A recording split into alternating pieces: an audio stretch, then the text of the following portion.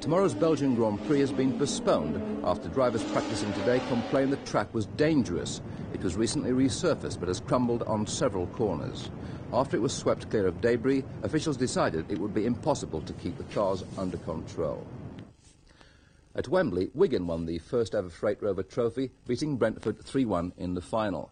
The competition is for third and fourth division clubs, and the match attracted a crowd of nearly 40,000 people.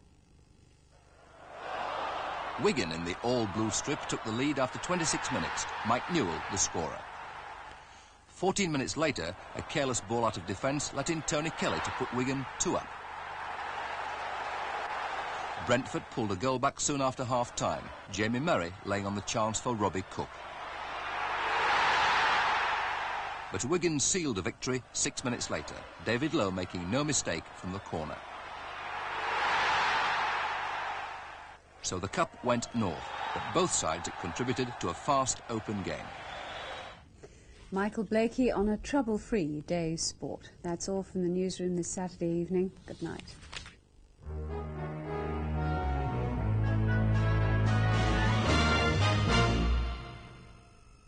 Hello, today's hottest spot was in fact Exeter with 23 Celsius, 73 Fahrenheit. The sunniest, again, Skegness, 15.7 hours, but Skeggy was also one of the coldest places in the free world. The reason is these cool northeasterly winds, but this high will give another couple of days of fine weather for most of us, with these fronts just rubbing up against the far north of Scotland there. That's the position by Monday. Tonight, though, a pretty fine just about everywhere. A chilly night too in some parts.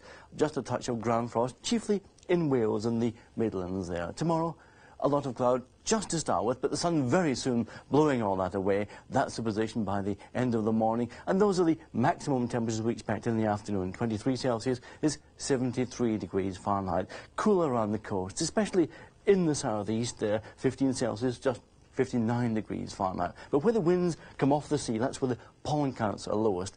A northeasterly breeze helps you breathe, tan, and freeze. There are lots more fine weather to come. Uh, some thunderstorms getting into the southwest, we think, later on on Tuesday. But for most of us, fine weather continuing, some rain still in the far north of Scotland. Finally, a recap of tomorrow's weather, mainly sunny.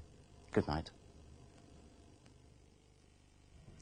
A new series is about to start on BBC Two as Russell Davies presents a Saturday review of the arts and media with discussion and comments from Henry Porter of the Sunday Times, lecturer and critic Hermione Lee, and artist Bruce McLean.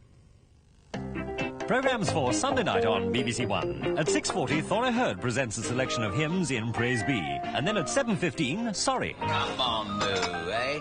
Last time, I mean, that avocado dip was sensational, wasn't it? Be honest. And we had enough left over to give two coats to the living room ceiling. At 7.45, the Paul Daniels Magic Show. Another chance to see the special programme which recently won the Golden Rose Award at Montreux. As well as the chimpanzees, Paul's guests include the juggling trio Air Jazz and Tom Noddy, the Bubble Guy. At 8.25, Whicker's World, and the QE2 reaches Hong Kong en route for its final destination, Red China. For passengers remaining on board, there's honey still for tea, and only a passing face at the window to remind them shipboard life is not as usual.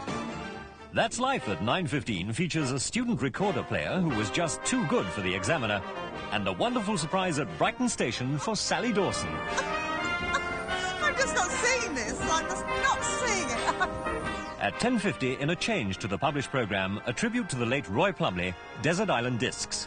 And that's the full lineup of programmes for Sunday night here on BBC One. Now, our late film on BBC One as Malcolm McDowell heads the cast of Lindsay Anderson's controversial film about Britain in the early 70s, Oh Lucky Man.